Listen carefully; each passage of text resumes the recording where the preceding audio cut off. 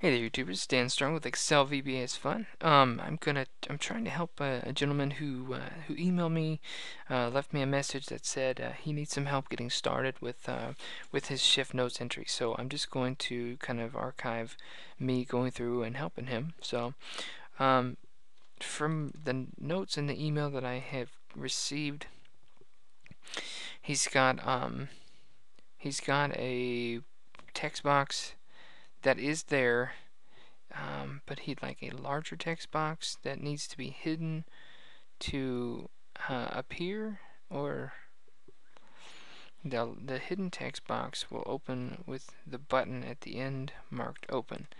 So I guess that's right here. There's notes right here, and when you click open, uh, another thing is going to open up. Uh, I'm not I'm not understanding why um, it'll open up if it's going to be hidden. But I guess there it's like a place marker. Maybe you can put something in there. Um, so I've reread this a couple times but I'm probably just it's just early and I'm just missing it or something. Let's see. On the one line where it says whole module down that was right there text box with the word notes above it. Let's see. So whole module down here's the text box with the word notes right above it. So there's the text box. Okay so uh, that he would like, let's see, whoops, um, lost my spot here. Text box with the words notes above it. This is a one-line message of a larger box that would that would need to be hidden. That hidden text box opens with the button at the end marked open. So when you click this button, something else will open up and uh, I'll show you how to do that I guess. I'm not certain uh, what you're going to do with that but that's okay. Um, let's go ahead and go to that area. So I'll scroll down here and here's the notes section for the whole down uh, whole module down. So right here uh, when we click open we want another text box to open up and I think ultimately to become hidden at a later time perhaps. So let's go ahead and go into design mode and we'll insert um, Actually, we could just copy this one, I guess. Let's hit Control C and Control V to paste. So here's the hidden one. We'll just put it here for now. I'm not sure what to do with it. It's called Textbox 21. As you can see, we could rename that. So in fact, I will. I'm going to rename it TB Hidden. Um, so what we need to do, let's go ahead and record a macro. Take it, uh, I'll keep it in design mode. Record a macro. Um, hide hidden text box. Okay, what we're going to record is this. Right click, go to properties. We're going to make it hidden and then we'll make it unhidden. We'll study the code really quick. That's the quickest way to do it. Um, so we need to go to down to visible. Visible currently is true. Let's make it false. So we recorded that action. Now let's make it back to true. Now the reason we can still see it is because whenever you take design mode off, you can see what's hidden, what's not hidden. So let's put it back to false. I'll just show you.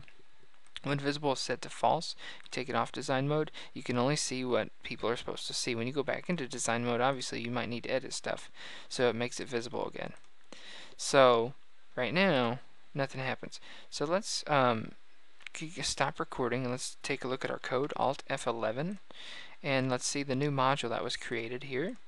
So uh, our code was called hide hidden box. We saw that hidden t box. Active sheet dot shapes dot range array tb hidden dot select. Um, okay, well they're not giving us a lot of clues here. I apologize. So what we need to do, and uh, that's fine and dandy uh, to use a to use that code here you could even do this workbook dot sheets um, shift notes is the name of the sheet dot range or dot shape dot range dot array name of the range dot visible equals false. That's a mouthful right? Um, what I prefer to do is go to sheet 1 I'm going to take this all and just cut and paste. Control X cut control uh, V to paste into the sheet 1 why did I why do I want to do things in sheet 1 or in the sheet called shift notes well there's a good reason for that. Whenever I type the word ME and hit a, uh, hit a period, um, I'm actually able to access any object that is within sheet the sheet um, called shift notes. So if I'm affecting something on the current sheet, I might as well do me dot tb hidden. That's the name of the text box that we're affecting, right? We named it that. Me dot tb hidden dot visible tab equals false or equals true. That's it. You don't have to select. You don't have to do anything. There's your there's your code right there. So, but we that's how you want to hide the hidden t-box, and we also want to make a code called um, unhide that or whatever. So let's see. So this sub will be called unhide hidden tbox, and we simply make this to true the visible equals true whenever we do that. That way we can re reference this code by using the name hide hidden tbox, unhide hidden tbox. So let's do that now. Let's go to our button, go back to design mode, and click on the open button right here. It's called command button 5. Double click on it, and we'll immediately go to that code. The click event that we want to use is um, we want to run the we want to call the procedure that's called hide hidden tbox. I know we want to call unhide hid, hidden tbox to unhide it, to reveal it. Also, we want me dot activate. That means we want to select the new, the newly unhidden uh, text box. Let's try what we've got so far, shall we? We shall. Okay. So currently we're out of design mode, so it's invisible again. We Can't see it really. I'm going to click this nice button. And do you see what happened? It opened, or it uh, dot visible equals true, so now it's it's visible, and it also select or activated that text box by clicking right there for me, basically.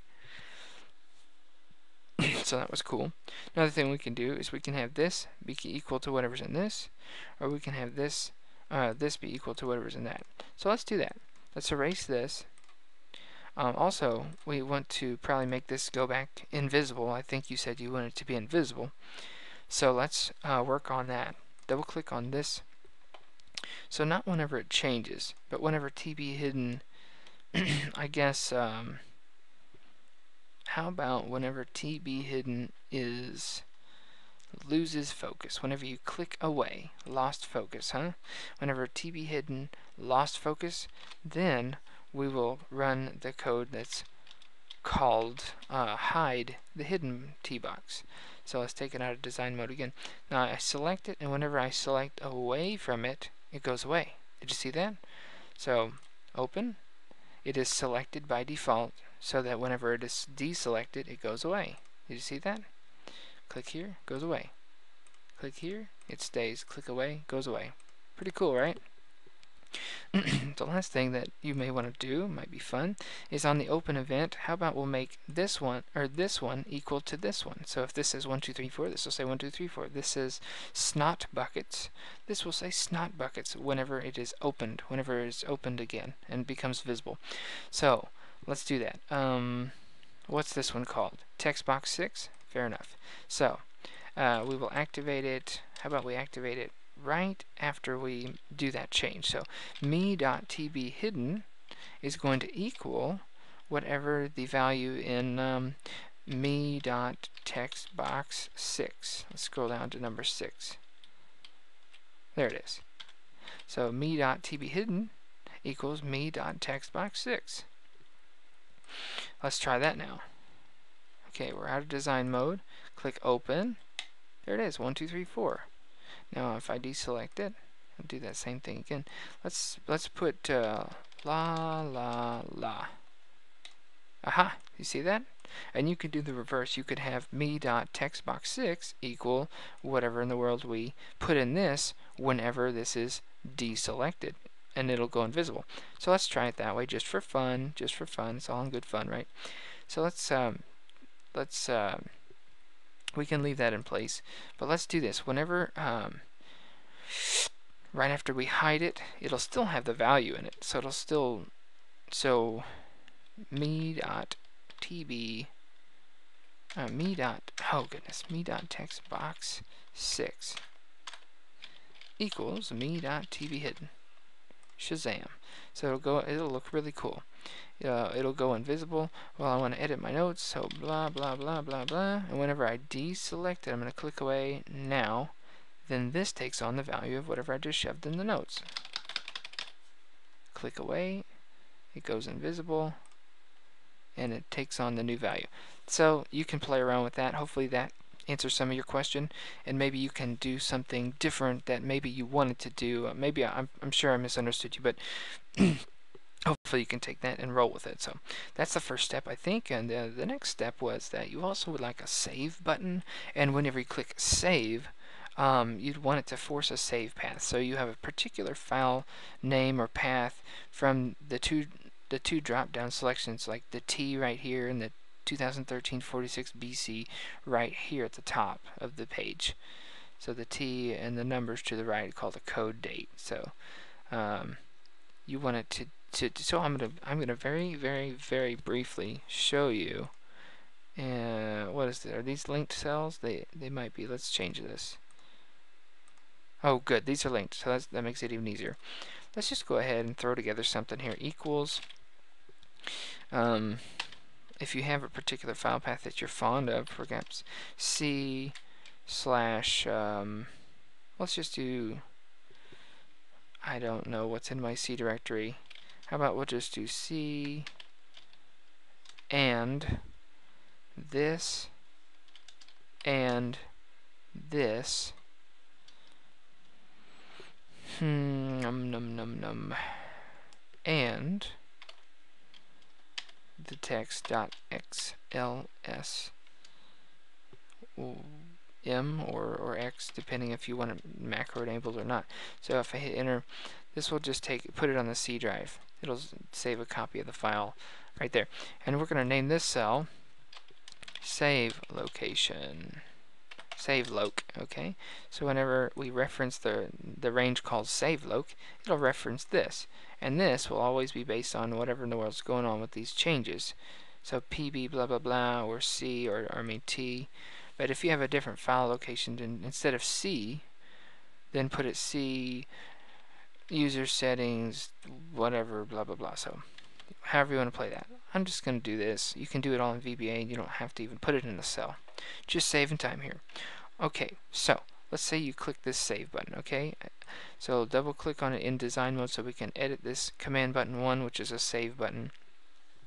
So we're going to do file uh, no let's see let's see. Um, this workbook pardon me dot save as Okay, this workbook.save as, hit a spacebar and it'll tell you all these different nifty little things you can do, separate them by commas. So file name is the first one that they are wondering if we have any preference on. So let's say file name colon equals, so file name equals, um, let's do the full range. This workbook dot sheets, you don't have to do all this necessarily, but I'm going to do it all.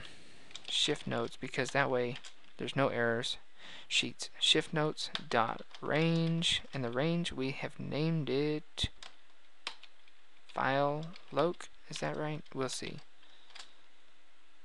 Um comma what's the next thing we want to affect? Do we want to do file format blah blah blah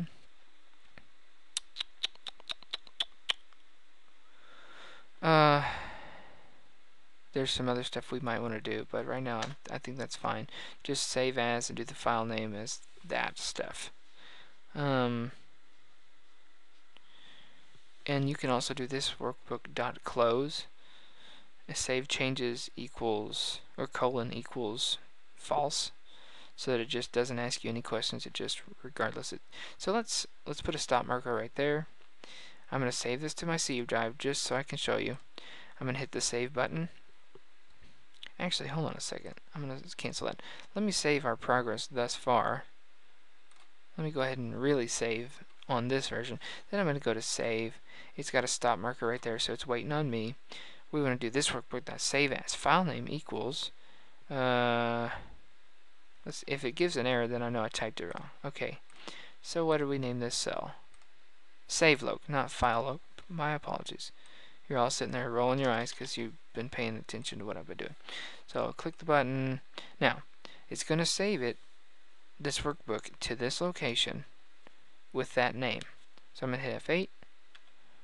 Let's see, this extension cannot be used with the selected file type. Change the file extension. Okay, there's a way to resolve that. I'm not going to go over it right now. What we're going to do, I will just change this to uh, XLSM. It's a macro-enabled versus not a macro-enabled workbook, and they're throwing a hissy fit about that. Because the current file has macros and blah, blah, blah, blah, blah. Hit F8.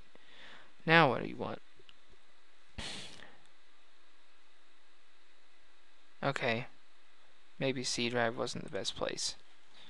There's probably some permissions crap going on. So let's save it to C and we'll make a folder called Mercy. Hello.